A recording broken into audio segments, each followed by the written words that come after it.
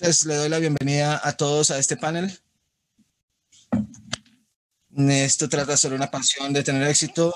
Nosotros nos llamamos AIPA, es el acrónimo. Este panel es una oportunidad que tenemos nosotros para hablar sobre la AIPA, quiénes somos y algunas cosas que estamos haciendo. Pero antes de comenzar, simplemente quería reconocer que esta conferencia se organizó por la Universidad de Victoria, que está ubicada en las tierras tradicionales de los Wanneroms, los Baderoms y los pueblos Moronji. No sé si los pronuncié bien, discúlpame.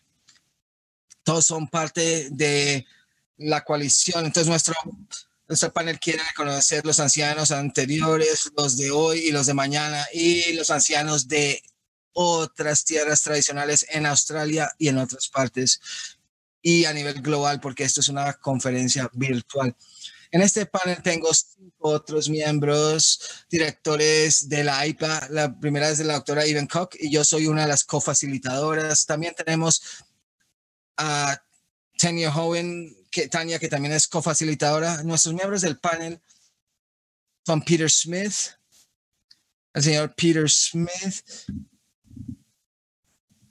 la, la doctora Carmen Cabillo el doctor Paul Gray. Casi se me olvidó uno, discúlpeme, porque no veo la pantalla muy bien.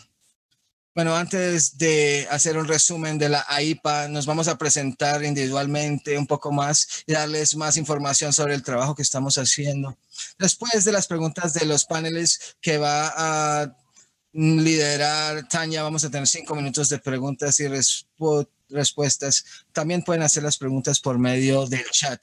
Términos del resumen, nosotros nos convertimos en un colectivo en el 2008. Estábamos trabajando con otros proyectos que trataban sobre la disparidad de la salud mental y bienestar social. Y durante esa reunión decidimos como grupo que íbamos a crear la AIPA. Y la AIPA se formó formalmente ah, en la conferencia de Jaiba ese año, en septiembre de 8. Y por muchos años todos estábamos trabajando antes la, ante la APS y el año pasado, en el 2019, AIPA decidió crear su propia membresía y tuvimos nuestra primera reunión de AIPA en noviembre del año pasado. Pero hablaremos más sobre eso después bueno, voy a hablar sobre algunas cifras del año pasado, de diciembre de 2019, que indicaba que teníamos más o menos 218 psicólogos indígenas en Australia que estaban registrados con AIPA. Y dado el hecho que representamos el 0,6% del grupo de psicólogos estamos muy por debajo de la paridad, que es 3,3% de la población. Entonces, de acuerdo a las cifras del año pasado, para llegar a paridad tendremos que tener 1.255 psicólogos indígenas. Entonces, estamos muy por debajo de esa cifra. Las cifras de pronto crecieron un poco, pero sigue habiendo una disparidad grande. Actualmente tenemos más o menos 44 psicólogos indígenas registrados con la AIPA. En este momento AIPA sigue siendo muy importante como asociación y tenemos nuestros miembros del panel que les van a hablar sobre la importancia, pero para nosotros es una oportunidad de trabajar como una colectiva y tener una voz unida para temas sobre bienestar social, el suicidio, la trauma y la salud mental. Y también durante este tiempo hemos tenido, hemos podido hacer muchas alianzas y relaciones con otros gremios esto es una muy breve resumen de dónde estamos. Algunas iniciativas que trabajamos han sido a nivel nacional e internacional y solamente quiero resumirle en pocas. Hemos podido progresar y, y, trabajar con un modelo social y emocional que revisa las conexiones holísticas para aborígenes en diferentes ambientes. Los miembros de la IPA han estado en nuestro cuerpo registrador AIPRA y en su grupo de referencia han desarrollado un, eh, un, documento de intención como grupo colectivo con otras profesiones que tratan sobre factores de salud clínica y el sector de la salud. Los miembros de la IPA han estado involucrados en la, el proyecto educativo de psicólogos indígenas. El profesor Pat Dudgeon trabajó mucho con eso y el proyecto trata de incrementar la cantidad de psicólogos indígenas, incrementar los estudios en el currículo indígena. Más recientemente, los miembros de la IPA han sido parte de Gaia Yuji. Gaia Yuji significa espíritu orgulloso, que es una reunión para el bienestar y la prevención de suicidios. Hay muchas otras cosas donde trabajamos. Entonces yo fomento que los miembros revisen nuestra página web AIPA si lo buscas en Google sale muy rápido. Estamos desarrollando una nueva, una nueva, un nuevo, una plataforma, sitio web, pero seguimos con la anterior y el diagrama detrás mío, y creo que Carmen también lo tiene, es uno de los logos de nuestro nuevo sitio web para la AIPA. Muy bien, entonces un resumen breve. Ahora quiero hablar, ahora Tania va a seguir con la siguiente parte. Gracias, Vana. Gracias por ese maravilloso reconocimiento de país queremos salir a introducirnos como parte del panel para que la gente que se están uniendo sepan quiénes somos y qué estamos haciendo.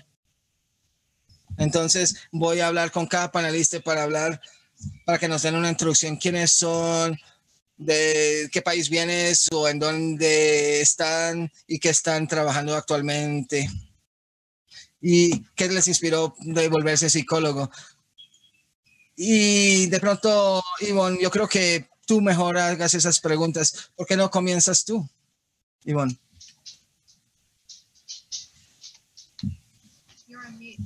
¿Estás eh, muteada, Ivonne? Bueno, estoy aquí en Adelaide y yo bueno, estoy, estoy, en, estoy en la parte sur de Australia. Yo soy psicóloga clínica y creo que, eh, creo que estamos bien después de 20, no sé, llevo 20, 20, empecé en el 96, 97. Fui una de las primeras eh, psicólogas eh, aborígenes en ese, en ese entonces. Entonces, simplemente no había eh, otros psicólogos eh, indígenas en ese momento habían de pronto muchas brechas en ese entonces. y, sentí simplemente que, que, tenía que ser una, una psicóloga para poder cubrir las necesidades. Muchas gracias, Iván. Ah, bueno, estoy, y también estoy en la parte de investigación. Muchas gracias. Bueno, mi nombre es Tania Jefaine y yo, yo soy una, yo eh, también mi mamá viene de una de, una de, las, de las tribus indígenas, de los grupos indígenas. Y, y estamos, eh, vivimos en el área de Berkeley, vivía y trabajaba en, eh, en los últimos siete años eh, en otro lado y ahora estoy viendo en, en, en Midland, en, en, el área de Townsville y llevo aquí el último año. Actualmente estoy trabajando como directora de bienestar para, para el grupo, pero también ofrezco servicio eh, eh, clínico. Entonces, cuando me inspiré para volver psicóloga, lo que fue, ¿por qué quise ser psicóloga? Sabía que, que había un, una, una, brecha en los servicios que estábamos manejando en las diferentes áreas. Entonces, creo que la pasión que tengo tiene que ver con el apoyo eh, en diferentes áreas. Ahora, ahora le va a pasar al doctor Paul Gray. Gracias, Tana, y muchas gracias, Ivonne, también por el, reconocimiento. Yo, bueno, mi familia, eh, bueno, mi familia viene, viene de la parte sur y central de Gales y actualmente trabajo en, en, en, en, la zona donde nuestra, nuestra comunidad indígena también tenemos eh, un grupo. Eh, hablo con ellos cuando tengo la oportunidad de llegar a la oficina. Entonces, he sido psicólogo, em, me registré como psicólogo eh, hace más o menos unos 10 años y casi que, que nos ha llevado al proceso y mi enfoque eh, tiene que ver más con la protección infantil y disfruto mucho en el momento en que en, en, eh, eh, pasé, yo pasé mucho tiempo en, en, hogares de paso, entonces sé cuál es el, el efecto que tiene eso en los niños. Entonces quería tener un, en un rol en una profesión en donde podría dar algún tipo de asistencia a esos niños y asegurarme de que se les diera un mejor futuro a ellos. Entonces, he trabajado en protección infantil por los, últimos 10 años, me alejé un poco de la psicología directa, de los roles que esto implicaba y pasé más a la parte de política, sistema y análisis. Y esto incluye eh, el, trabajo en, el sur de Gales. Entonces, de hecho, estoy tratando de desarrollar un nuevo sistema en las diferentes prácticas que van a, pro, a, producir mejores resultados para las personas, para las diferentes familias y sus comunidades. Yo creo que eh, así es como llegué yo a este rol y, donde voy a continuar y lo que va, va, el, en este momento soy profesor asociado en Food Chairman, que lidero la investigación de protección infantil allí. Muchas gracias. Dr. Gray, ahora, ahora vamos a pasarle a, a Dr. Carmen. Muchas gracias. Yo también soy psicóloga clínica y lo, lo soy hace por un tiempo. Yo vengo de Darwin y me complace mucho estar presentando desde mi hogar. Eh, me entrené en psicología y me di cuenta que el trabajo que yo estaba haciendo con, con los niños y las familias era casi que inadecuado, sin tener los modelos adecuados. Entonces, entonces empecé a entrenarme en terapia. Ahora soy, entonces ahora soy supervisora. Entonces ya tengo los, los, los métodos para poder trabajar adecuadamente. Superviso en Epson, donde en donde, en donde tenemos una alianza para los, eh, la zona norte. Entonces tenemos un, un, en este momento tenemos 25 servicios y mi trabajo es manejar la parte emocional y social. Entonces creo que hay problemas en este momento en lo que estamos haciendo en, en Truman. Eh, eh, tiene que las organizaciones pueden eh, manejar en un pequeño entrenamiento, en un par de horas, eh, para poder tener, y tenemos un paquete completo en donde se, tiene un servicio, eh, entrenamiento, auditoría, módulos completos. Y de eso vamos a presentar algo hoy. Ah, bueno, soy psicóloga también. Eh, de hecho, mi, bueno, mi, de hecho, me gusta la psicología porque mi, en mi familia siempre hemos tenido una política de puertas abiertas, entonces casi que tenemos ese tipo de calificación, entonces me gusta seguir la tradición de mi familia. Muchas gracias, doctor Capilla. Ahora Pete. Hola a todos, mi nombre es, eh, es Pete Smithen. Eh, yo soy descendiente de Calimer. De hecho, vivo en el campo en, Chas en donde tenemos diferentes personas de, de, del sur de Gales y vi, vivo en esta zona más o menos hace ocho años y de hecho crecí en Sydney. Eh, yo soy un, un, chico de la ciudad, entonces mi mamá formó parte de esta generación. Entonces, ah, para mí ha sido interesante volver a la casa, al hogar. Eh, recuerden, eh, de hecho, el, el, campo nos, nos llama y nos hace más fuertes. Entonces, me encanta estar viviendo y trabajando aquí vivo en una pequeña, vivimos en una comunidad 30% indígena, he estado trabajando terapéuticamente en la práctica aquí en, en este pequeño pueblo y por los últimos, no sé, cinco o seis años eh, en, el, en el servicio médico. Antes de eso, yo trabajaba con, con bueno, manejamos esto y como psicólogo y entonces estábamos, eh, bueno, trabajé también en entornos forenses. ¿Y por qué?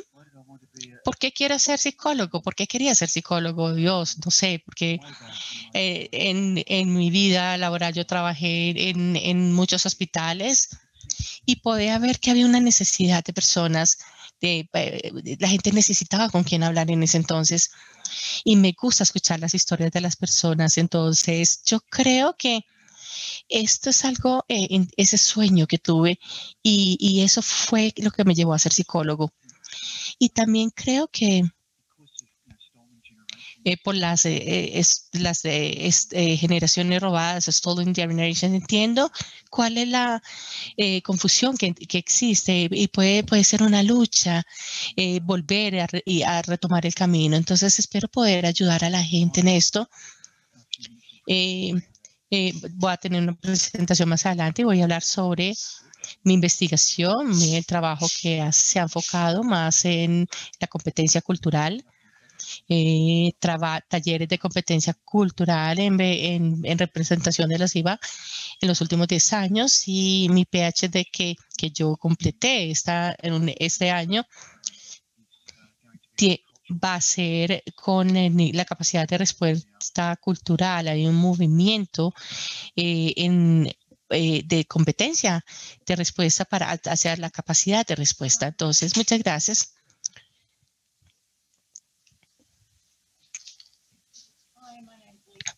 Yo soy Elvira Bennett. Me encantaría decirle quiénes son mis, eh, mis grupos, mi abuela, pero no sé. A mi abuela la, se la, arrebataron de su familia hace mucho, estoy hablando de, de los inicios de 1900 y a ella la enviaron a, a un orfanato en Transfer. Entonces, por lo tanto, a ella la, se, la, se la llevaron, le dieron entrenamiento doméstico, que era lo que se hacía en ese entonces. Y esa fue la, la carrera que llevó, que es simplemente ser una empleada doméstica. Yo vivo en este momento y trabajo en, en Country, entonces estoy aquí en Brisbane y empecé mi psicología, de hecho casi, casi que caí allí.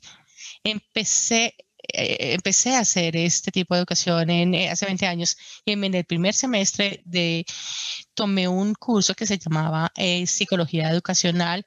Y en esencia esa fue la introducción que yo tuve a, la psicología. Me encantó la idea entonces hacer las pruebas psicométricas en el contexto educativo y, la, y, y había un grado, podíamos tener eh, un grado de psicología, entonces me transferí a un campus diferente y tomé ambas carreras y, y, me, seguí la ruta de la psicología en educación. Me gusta y de hecho empecé mi, mi pasantía eh, que se podía hacer fácilmente en, en, en Macade. Mis, lo hice, lo hice con Macaria, ahí estaban mis, mis padres, mis hermanas, entonces obtuve mi registro como pasante y luego mi registro completo y ya me volví una psicóloga y, principalmente hago trabajo eh, clínico, psicológico. También he tenido algunos cargos administrativos en psicología, más que todo, y tuve la oportunidad también de participar en algunas experiencias en, en, este recorrido de vida reciente. Bueno, bueno, ya te estoy eh, sacando mi PhD, estoy esperando a que, a que, a que pueda pasar todo y, y quisiera y, y, quiero tomar mi PhD. Mi PhD fue en el desarrollo de, de un modelo multidimensional en torno a las ideas de suicidas y a los comportamientos suicidas en, en la comunidad en Mackay. Es, lo hice, en esencia es el modelo que yo desarrollé, es, es de hecho es algo que, que tiene que ver con, con la, eh, un ciclo de, de empoderamiento, de falta de poder entonces, eh, ellos, realmente estos dos esquemas coexisten, pero también son mutuamente excluyentes y tienen, y tiene que ver con los comportamientos suicidas y cómo pueden empoderar a las personas para poder resistirse a esas ideas y a esos comportamientos. Gracias, Lira, y muchas gracias a todos por sus introducciones. Es muy importante dar el contexto. Voy a volver entonces a Pegnes. Eh, usted, lleva mucho tiempo aquí. Eh, eh, entonces, quiero que comparte lo, yo creo que va a ser el tema. ¿Será que nos puede contar sobre su, su, involucramiento y que lo que le inspira, eh, que lo lleva a, esa investigación? Gracias, Tania.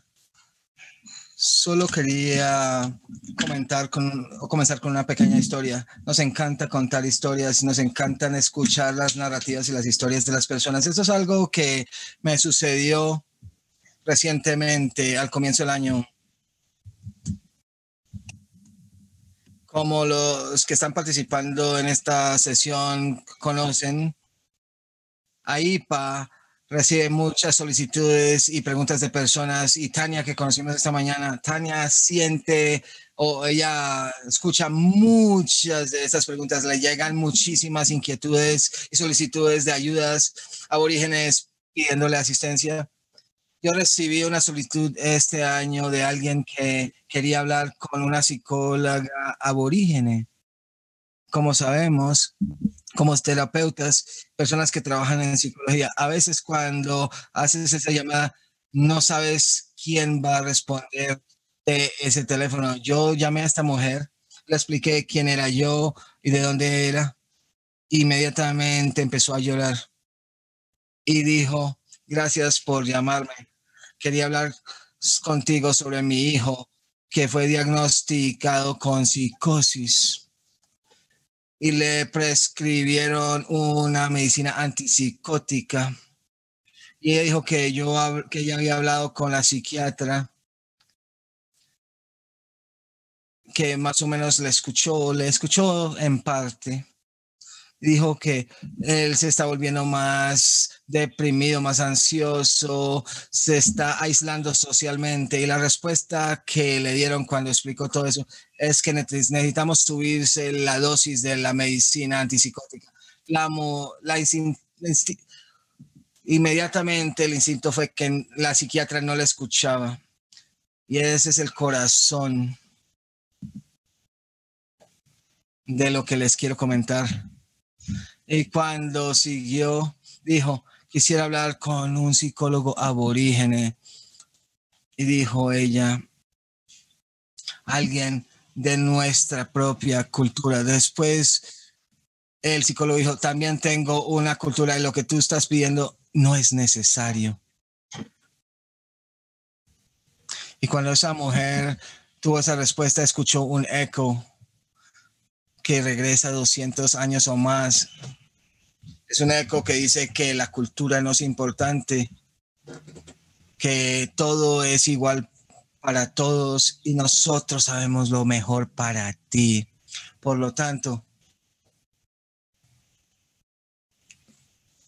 para ella, básicamente ella la aislaron, la minimizaron. Solo quería utilizar esa historia porque realmente tipifica de lo que trata nuestra investigación Hoy les quiero comentar sobre las personas indígenas. Yo aprendo mientras trabajo. Yo soy nuevo con este doctorado. Solamente recibí la confirmación de mi doctorado esta semana. Lo que necesitamos entender es que dentro de nuestro trabajo como investigadores, todos en este panel son investigadores y han contribuido a artículos revisados por pares y esto trata sobre decolonizar nuestra disciplina y decolonizar nuestra literatura profesional. Y yo leí algo el otro día que realmente me llamó la atención. He leído mucho últimamente, pero esto lo leí de un investigador indígena. Realmente me tocó. Dijo, los datos son poder y el que tiene los datos tiene el poder.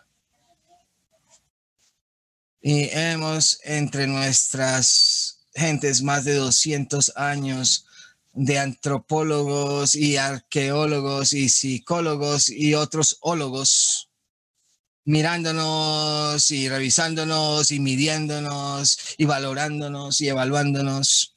Y a veces simplemente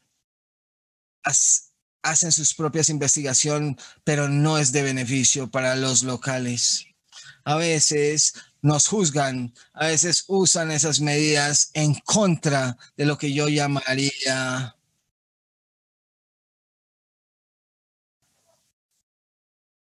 unos marcos eurocéntricos para decir que estas personas son inferiores o retraídas.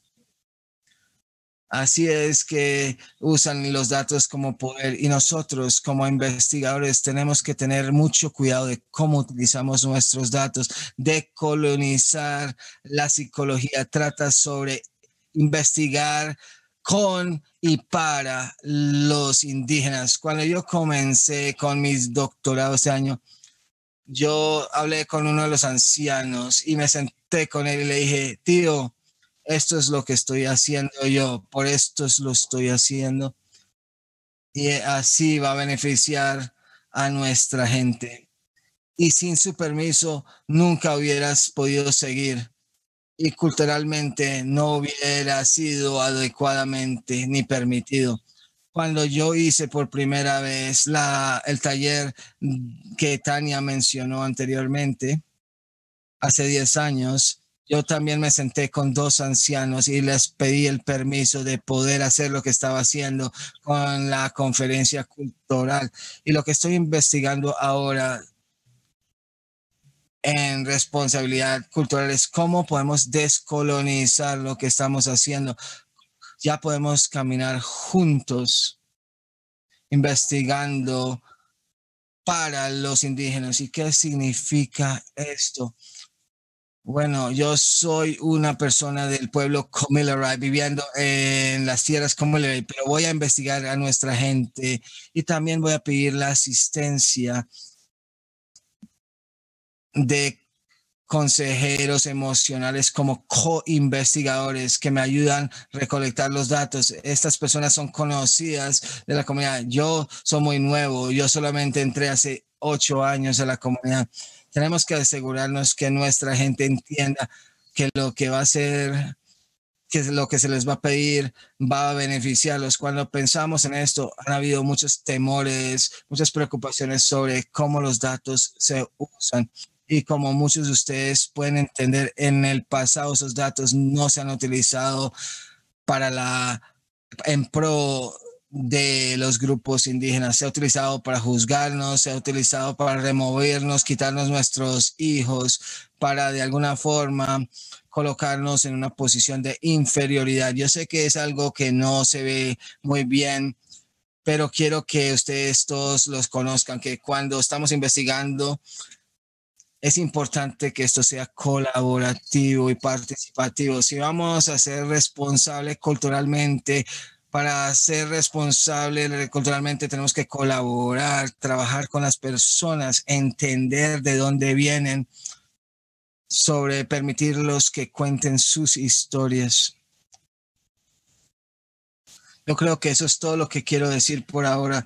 Recordarnos que los datos son poder, así como el conocimiento es poder y cómo utilizamos esos datos es tan importante y debe ser para la mejora de nuestra comunidad y nuestro pueblo. Todos los que estamos en este panel estamos haciendo lo que estamos haciendo para nuestro pueblo. Somos una sociedad colectivista y estamos muy conscientes de lo que hacemos. Lo hacemos por los otros de nuestros pueblos y estamos usando o estamos parados sobre los hombres de nuestros ancestros.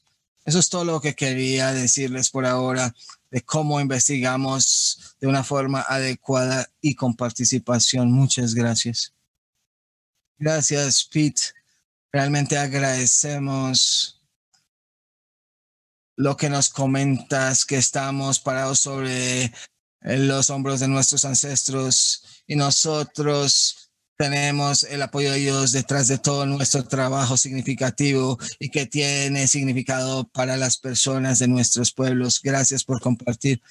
Ahora quiero hablar con Lida. Lida, tú fuiste, volviste la directora el año pasado con mucha experiencia. Hablaste sobre su doctorado, especialmente en el área de suicidio, ideas de suicidio. También hablaste sobre el tema de suicidio para la Junta de Indígenas de Psicología. ¿Puedes comentar sobre esas áreas de su estudio y de pasión y el trabajo que estás haciendo? ¿Nos puedes dar más detalles? Sí, claro. en mi introducción cuando mencioné, cuando comencé mi, mi pasantía en la CAR. Yo comencé ahí varios años y durante mi pasantía había muchas muertes por suicidio que desproporcionalmente incluyeron muchos jóvenes, siendo una de dos de las primeras dos psicólogas en el momento en Mackay. No solo quería participar con la comunidad para responder a estos suicidios, pero, pero como psicóloga había expectativas para mí y yo estaba muy contenta con esto.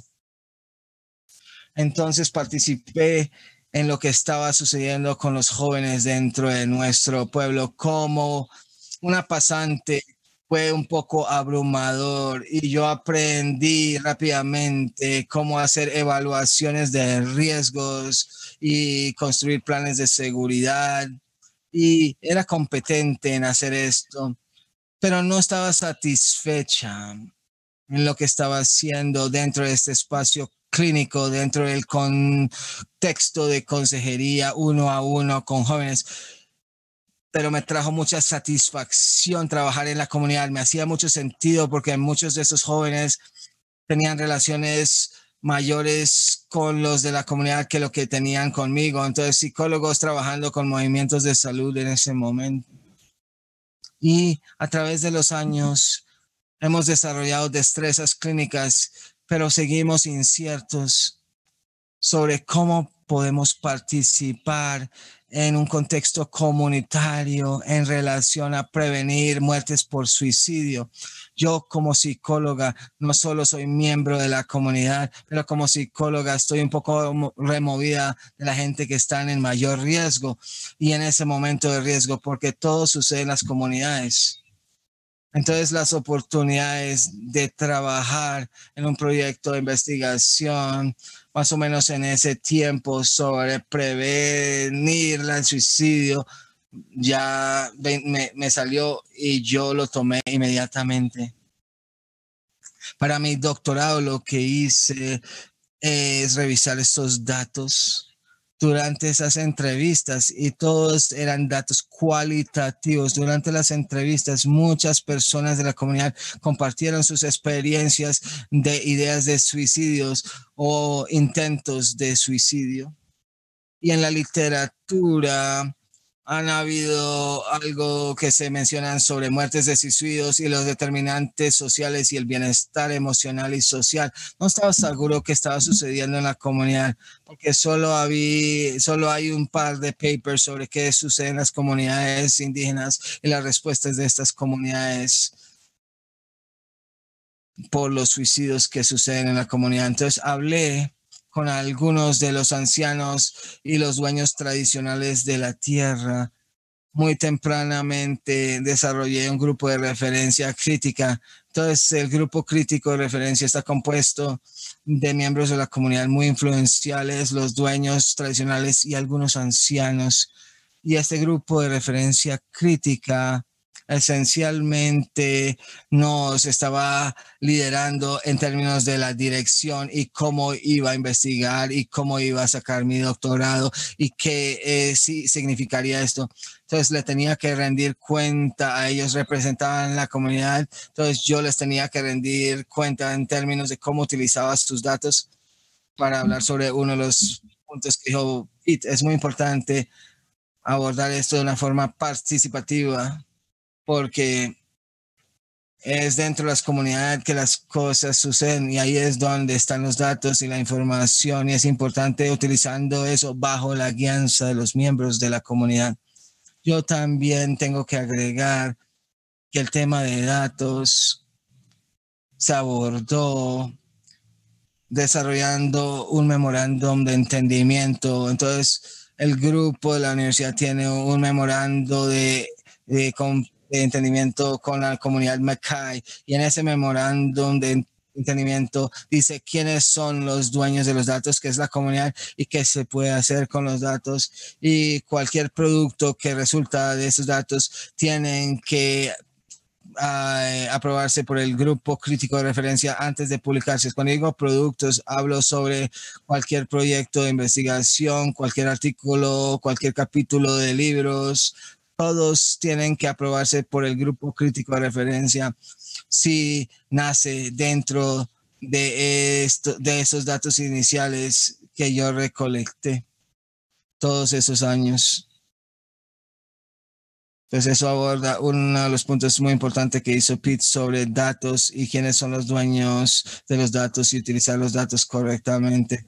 Pues lo que yo hice como parte de mi doctorado es regresar a esas experiencias que compartieron los participantes de sus comportamientos suicidas y ideas por las relaciones que tenían con algunos de esos participantes.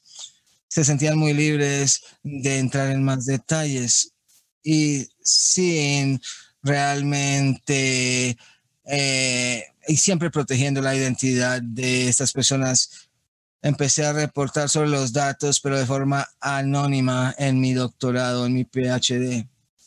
No había visto mucho en la literatura que analiza las experiencias personales de ideas suicidas o comportamientos suicidas. Para mí, como clínica, este doctorado me ha ayudado mucho para yo entender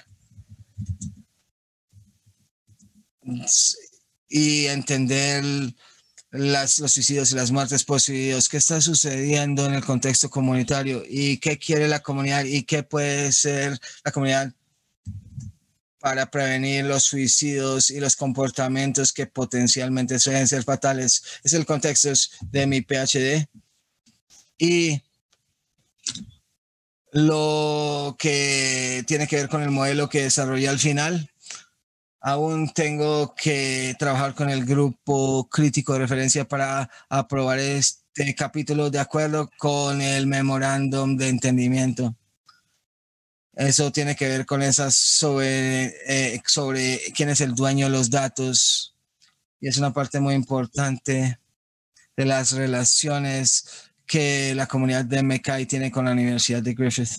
Entonces, realmente no podemos hablar mucho sobre el capítulo hasta que me lo aprueben. Lo único que les puedo decir es que va a salir en mi doctorado de alguna forma. Bien. Bueno, veo que está en curso, ¿cierto? Muchas gracias. Eh, hay un tema que se trata del trabajo con las comunidades, también se tiene que respetar que hay voces, hay voces que tienen ahí. Y este, eh, yo creo que tenemos que mirar qué se cómo se maneja la propiedad cultural y el trabajo que se está haciendo posteriormente. Muchas gracias. Ahora vamos a pasar con el Dr. Karen Cabaloy, quien nos va a hablar de, él tiene demasiada experiencia y va a compartir trabajo que está haciendo con la comunidad y luego vamos a dejar de hablar porque ya entró y ya tiene su presentación.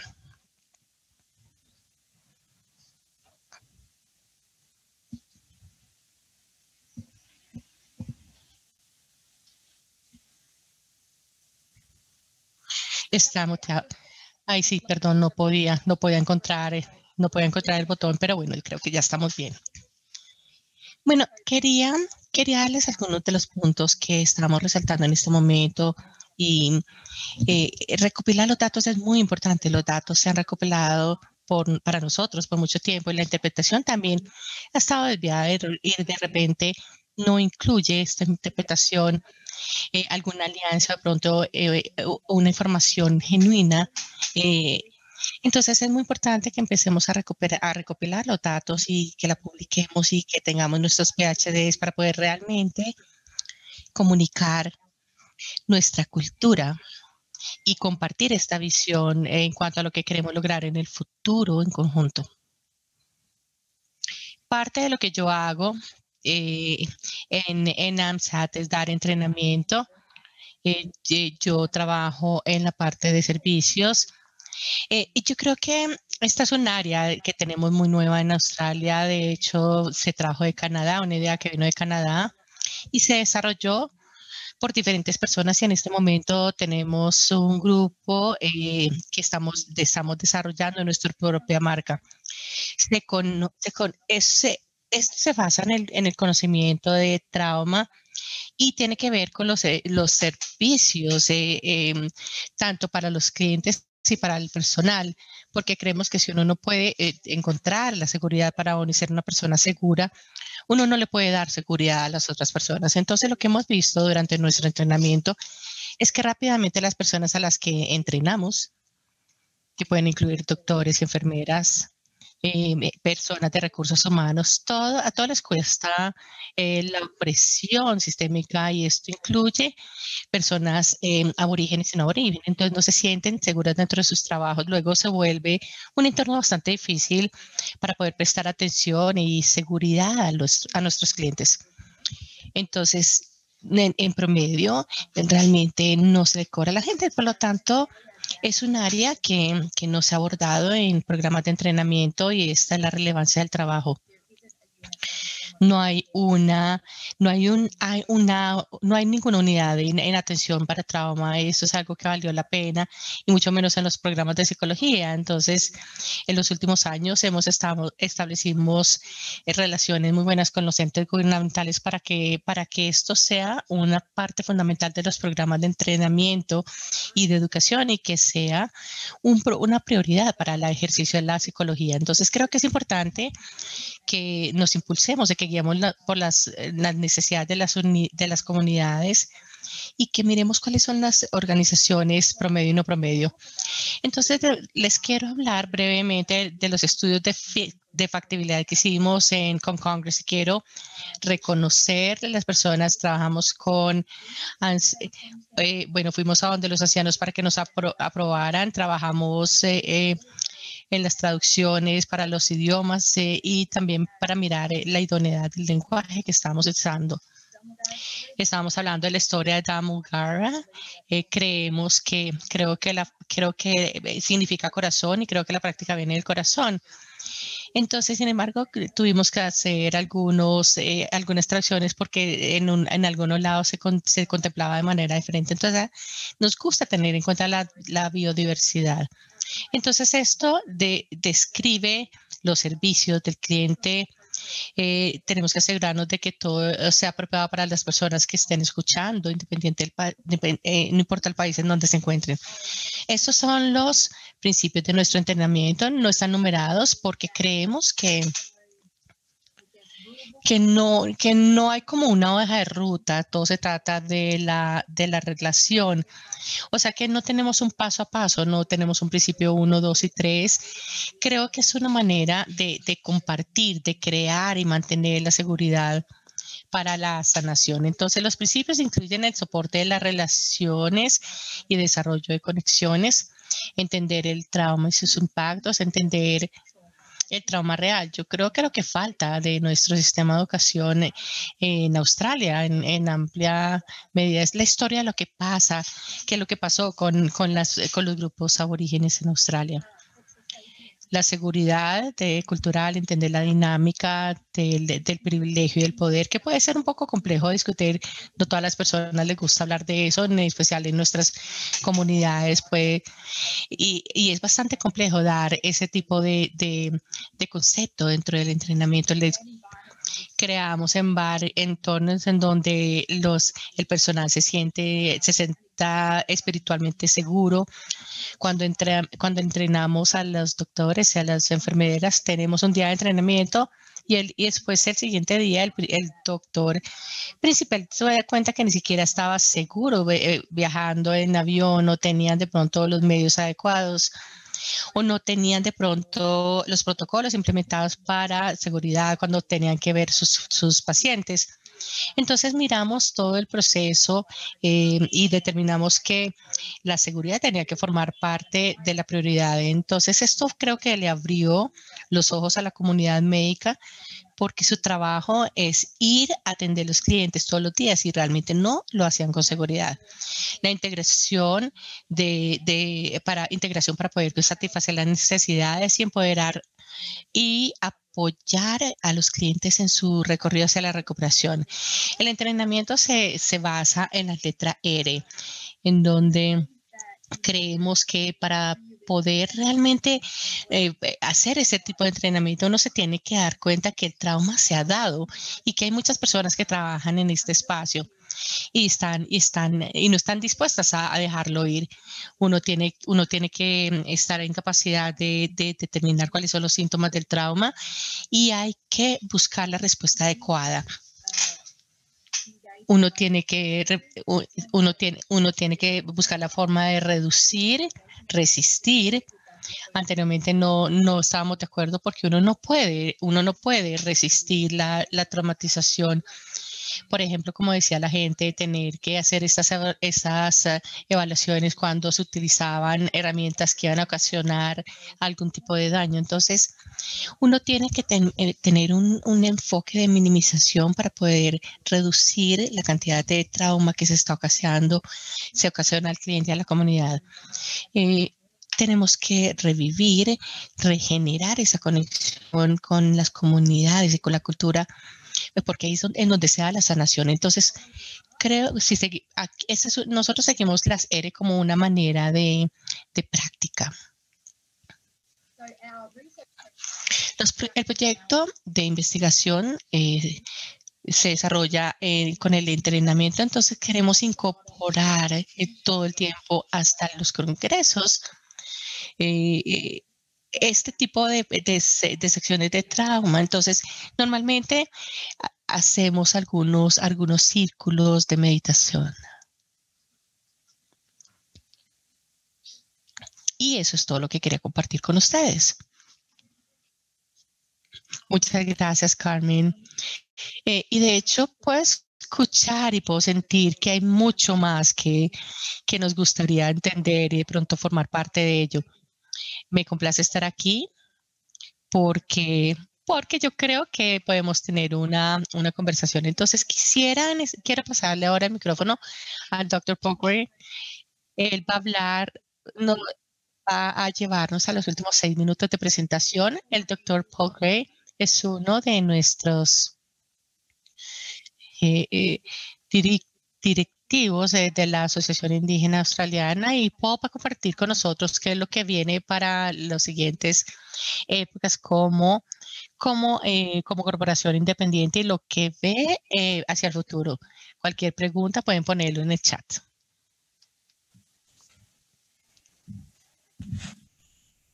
Gracias, Tania.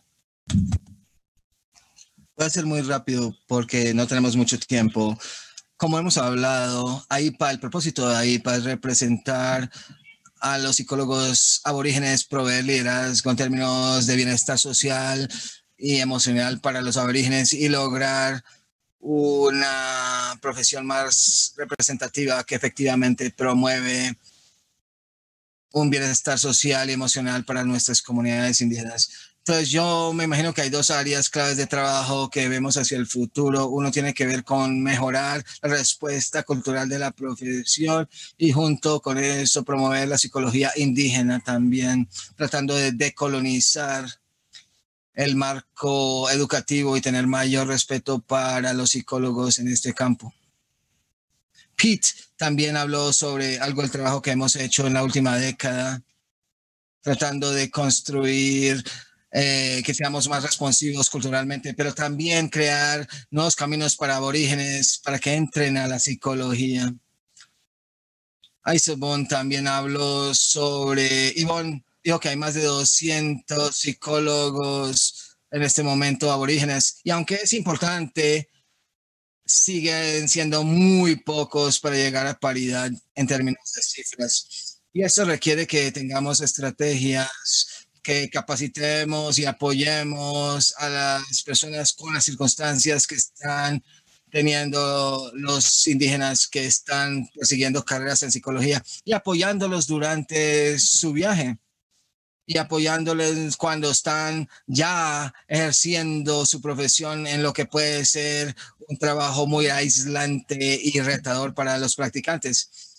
Una forma en que abordamos esto es, es, es obligados a estar en línea como lo hemos estado años y hacer supervisión en línea. Es una oportunidad para crear redes de psicólogos aborígenes que trabajan en diferentes áreas, intentando combatir esos sentimientos de aislamiento esa tensión cultural que sienten los practicantes en su trabajo y en sus lugares de trabajo y agregar y darles valor a los miembros en términos de sus requisitos de capacitaciones continuas.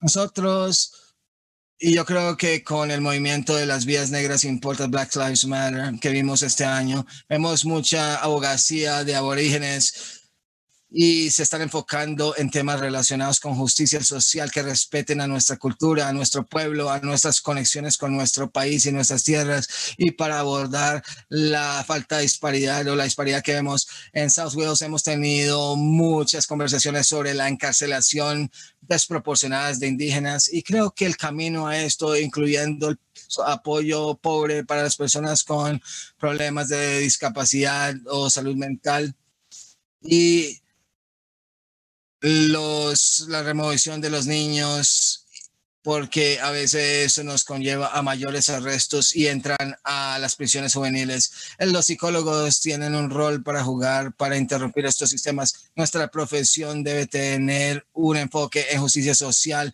en crear reformas a los sistemas que que no son los adecuados. El racismo es un factor, la persistencia y la inigualdad, la, eso realmente lastima el bienestar de nuestras comunidades. Entonces, hemos trabajado en alianza, como dijeron algunos de los ponentes o los colegas anteriores mencionaron, estamos tratando de aliarnos con diferentes sectores y cualquier persona que se quiera aliar con nosotros. Hace un par de años, la Sociedad Psicológica de Australia dio un, perdón oficial. Este año, seis sectores o seis alianzas empezaron a hablar y reconocieron el rol que la psicología tiene, el reto de retar los prejuicios culturales que existen en nuestra práctica. Hablamos un poco sobre el impacto de modelos erróneos, evaluaciones y herramientas que nos sirven en el chat. Es algo que se está discutiendo mucho. Yo creo que eh, estamos muy entusiasmados de trabajar en esto y convertirlo en acciones concretas, trabajar con nuestros socios para convertirlo en cambios, para que más voces indígenas y perspectivas se incluyan en nuestras investigaciones y que respetemos el conocimiento indígena. Y muchos colegas hablaron sobre esto. Mencionaron en particular las diferentes formas que las perspectivas comunitarias forjan su trabajo y creo que las contribuciones de esto a la profesión nunca se debe subestimar. Más o menos eso es lo que quería comentarle, las dos áreas claves que queremos trabajar en estos siguientes años. Sabemos que va a ser algo difícil, sin embargo, ciertamente nuestro compromiso es continuar trabajando en pro de estos resultados.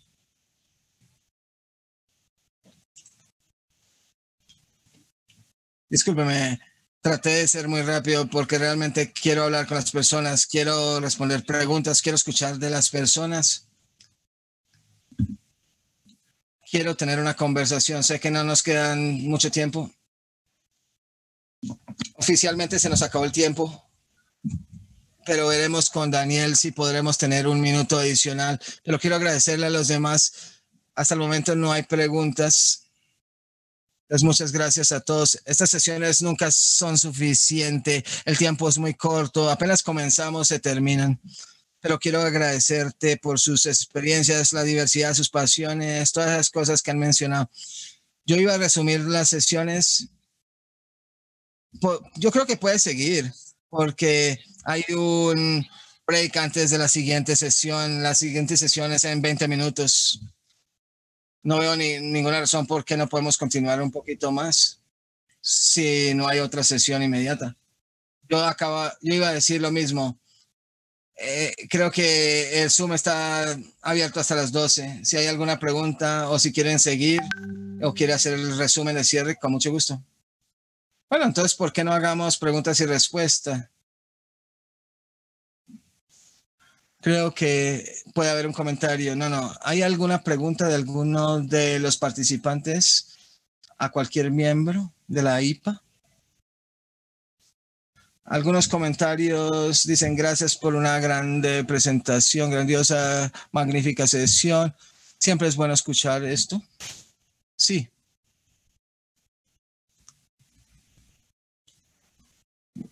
¿Alguien más tiene preguntas? Bien. Aquí hay una pregunta. Como una mujer indígena de Alaska, muchas gracias. ¿No es una pregunta? ¿Un comentario? Bien, ¿alguien más? Discúlpeme. Yo, tengo, ¿Yo puedo hacer una pregunta? Claro.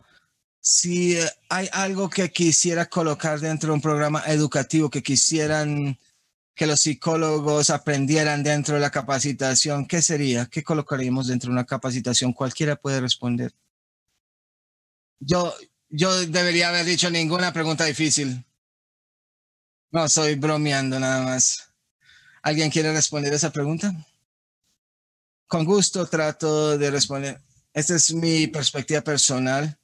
Yo sé que Pete y Lida y otros pueden tener un punto de vista diferente yo creo que pensando sobre esto, parte de lo que creo, creo que lo que quiero decir, la concientización de su perspectiva cultural es algo difícil colocar dentro de un programa educativo, pero es algo importante y algo que para mí, en mi línea de trabajo, yo duré mucho tiempo, con mucho esfuerzo para lograrlo, explicándole a las personas no indígenas cómo su propio sistema funciona, para que podamos tener la conversación la posterior o la conversación que se necesita, que es por qué no funciona para nosotros como indígenas. Y creo que cabe dentro de este tema de, de la intención de seguir.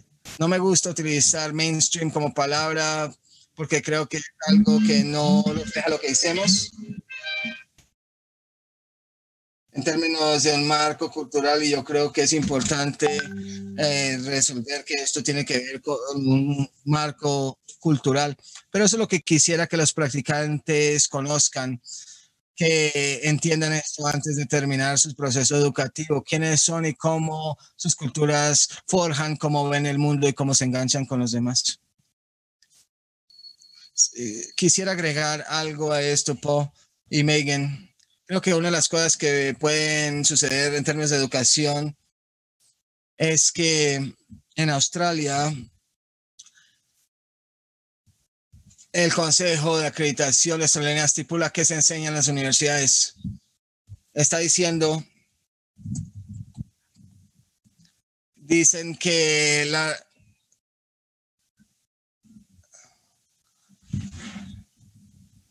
preparando los estudiantes de la, la, Junta de Psicólogos de Australia está diciendo que como competencia educativa para los psicólogos que están estudiando, ellos deben tomar alguna clase de cultura. Entonces tenemos que definir qué es este factor cultural antes de abordarlo, porque no está claro en la literatura qué estamos definiendo. De pronto es un poco esquivo hasta el momento, relacionado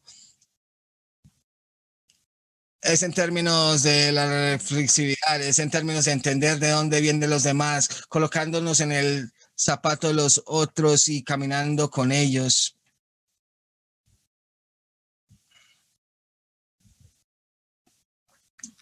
Es una destreza cognitiva de donde ya puedo entender. Yo estoy escuchando y trabajando con esa persona y creo que lo que es está haciendo AIPA con los talleres, asistiendo a las personas, eso aborda esto en cierto, en ciertos momentos. Gracias, Paul y Pete, por responder. Otra pregunta de Chris Keys. ¿Puedes hablar sobre los retos que están encontrando en sus trabajos?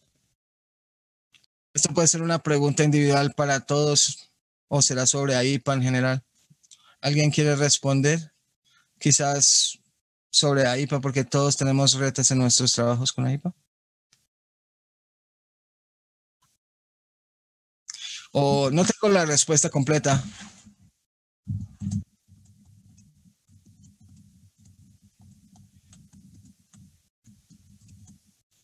Trata sobre la nación de cuando nosotros queremos responder o cuando hagamos provisiones. Realmente es muy difícil porque reconocemos la diversidad de donde venimos y nunca hablaríamos por parte de otra persona sin su consentimiento. Y como un cuerpo representativo, esto es muy difícil hacerlo porque sí tenemos creencias colectivas y nociones y respuestas a las cosas. Sin embargo, como grupo, nos rehusamos a presentar esto muchas veces porque nos importa sobre cada individuo y los también nos importan los no miembros y también nos importan los estudiantes de psicología que están en otras formas de cuidado. Y no queremos hablar por parte de ellas, especialmente si tienen otro punto de vista. Muy bien, muchas gracias, Carmen. ¿Alguien tiene otro comentario? Muy bien. Entonces, ¿tienen unos últimos comentarios, Tania? No, no los tengo. Bueno, creo que ya terminamos esta sesión. Muchas gracias a todos. En términos de lo que conozco, todo se está grabando, entonces si quieren ver nuestras caras bonitas de nuevo, va a grabarse en el sistema. ¿Eso está correcto, Daniel? Sí, se está grabando en español y en inglés y va a subirse en la plataforma, entonces va a estar disponible para todos. Y por favor, revisen nuestro sitio web y contáctenos. Tania normalmente responde, y, pero como grupo le podemos responder. Muchas gracias a todos. No sé si nos vemos, pero como la situación es tan difícil, pero muchas gracias. Gracias a todo el mundo. Hasta luego.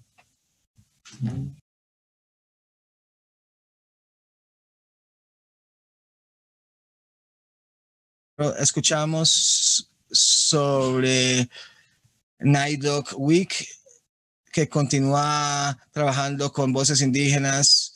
¿Será que ¿Crees tú que hay un enlace entre la voz y las agencias? ¿Entre la salud y la salud mental? James, ¿quieres tratar de decir que si lo entendemos o no? ¿Querías hablar sobre esto, James? ¿También, ¿Ya sigues en línea? Si estás en línea, quizás estás muteado. Jane. Hola, Jane. Hola. ¿Estás Jane? Sí, soy Jane, hola. Discúlpeme, estoy teniendo problemas con Zoom. Bueno, nosotros como población, solo me preguntaba sobre esto. Él me quería hablar sobre el tema de la necesidad de que la voz y la agencia deberían abordarse. Yo estoy en el público con muchas personas de muchos diferentes sectores y yo soy del sector de la salud. Y yo me preguntaba, nosotros como población, ¿será que nosotros eh, entendemos la necesidad. Muchas gracias, Jenny. Mi punto de vista es que no. Entonces, creo que la evidencia sobre esto es muy clara. Creo que eso es parte de los retos. Nosotros conocemos que existe un enlace muy claro y yo siempre refiero a esto, al trabajo fantástico que se han hecho con las comunidades de las primeras naciones en Colombia Británica, en Canadá, por el profesor Mandler y Milán. Eso lo hizo muy claro, revisando las tasas de suicidio en Canadá, en las primeras naciones de Canadá. Y sabemos que ese enlace existe y sabemos que podemos revisar el proyecto de Harbour con el mundo del, con el desarrollo indígena económico y lo que se dieron cuenta que no importa que estaban hablando, si estamos hablando de resultados de salud, económicos, cuando las comunidades y los tomadores de decisiones siempre es, mejor que se tomen decisiones a nivel local. Y no sé, es, es parte de lo que el texto trata de, de decirnos en términos de cómo fue escrito las conversaciones que queremos tener. También hay un eco en el Acuerdo Nacional para cerrar la brecha, que fue abordada esta semana, este año, perdón. Intentando tener la, conversación y demostrar. Yo quiero decir que vale la pena que las personas de Australia sepan, pueden buscar el documento en internet. Yo cuando primero la escuché lloré cuando el, primer ministro, cuando el primer ministro dijo, no, no vamos a hacer eso. Y yo imagínense si yo me siento así, imagínense cómo se sienten los aborígenes, aunque no, uno no acuerdo de 100%, pero fue un proceso. Si no conoces sobre este documento, búsquenlo. Gracias, Heather. Gracias, Heather. Muy bien, si tienen otras preguntas. La doctora Camila ha colocado el correo electrónico ah, en el chat. Creo que ya las preguntas. Ahora sí creo que vamos a salir. Pues muchas gracias a todos y nos vemos. Chao. Gracias, hasta luego.